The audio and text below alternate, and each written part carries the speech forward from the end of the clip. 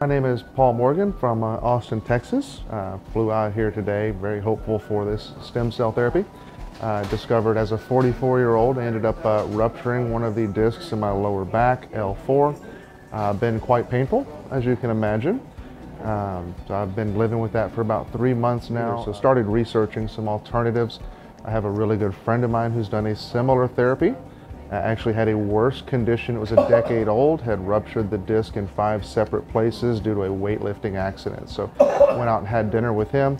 Uh, he had a very similar therapy done with stem cell injections, completely healed the disc uh, with no residual side effects, no residual problems. I mean, um, when you investigated other options, did you just come to Mexico or did you look at other countries?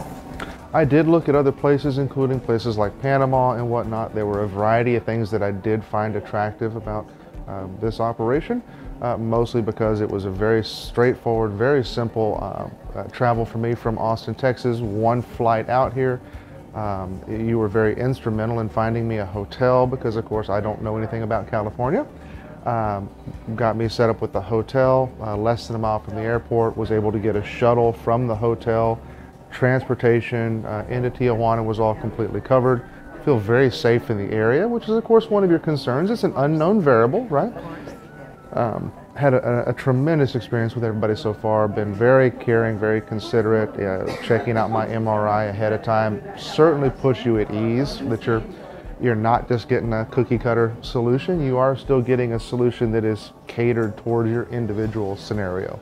Uh, really helps put you at ease. The entire process so far has been nothing sort of seamless, um, and very pleased with everything I've had so far. so I have managed to resume uh, work, normal recreational activities, uh, walking, going back to the gym. Uh, pretty much life has resumed normal.